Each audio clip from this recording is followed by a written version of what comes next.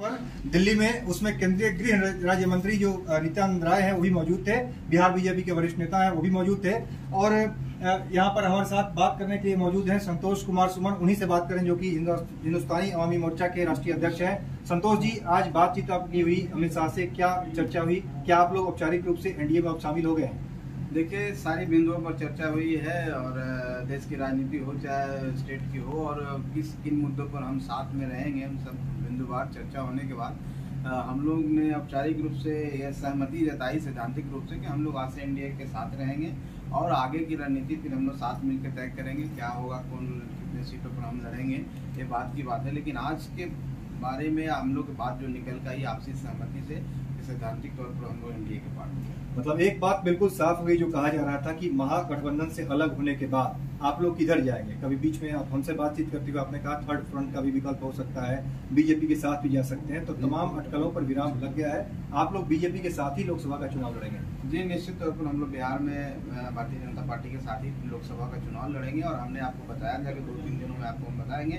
हम लोग सारे विकल्पों पर चर्चा कर रहे थे लेकिन आज माननीय गृह मंत्री से मिलने के बाद हम लोग की सहमति बनी कि हम लोग एनडीए के साथ फॉर्मूला क्या होगा? क्योंकि लगातार इस बात की चर्चा थी जब महागठबंधन में थे तो आपने कहा था कि पाँच लोकसभा सीटों पर हम चुनाव लड़ना चाहते हैं और आठ सीटों पर आपकी तैयारी है। वहाँ पर फॉर्मूला रास नहीं आया नीतीश कुमार को। यहाँ पर किस तरह से आप फॉर्मूला लेकर हैं? देखिए फॉर्मूला तो बाद में तय होगा लेकिन हम इतना ही आज कहेंगे कि हम लोग एनडीए के पार्ट हैं और लोग साथ में चलने की बात रखे हैं और निश्चित तौर पर हम लोग जब बैठेंगे और स्टेट कमेटी वहाँ पे जब भारतीय जनता पार्टी के साथ बैठक होगी तो सारी बातें निकल के आ जाएगी कौन कितने सीटों पर लड़ेगा।